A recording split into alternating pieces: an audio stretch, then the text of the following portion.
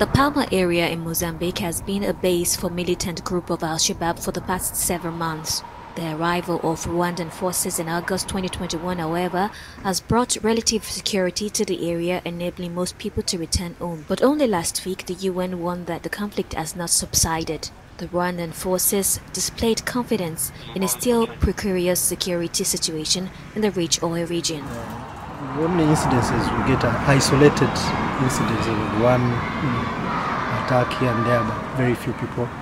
It's not really a, a main uh, stronghold like the way it was in Mocímboa and Deprived anywhere. So we can say to a large extent that uh, the um, insurgent has been um, defeated.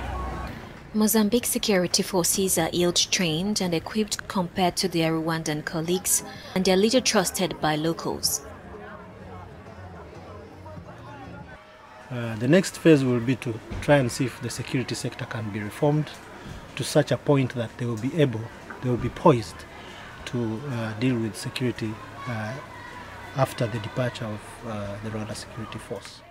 A year on, calm has returned to the area, and so have most of the Quionga inhabitants. Rwandan troops have secured the key districts of Palma and Mocímboa Praia, formerly jihadist strongholds. Well, right now things are a little bit more controlled. I would say things are improving.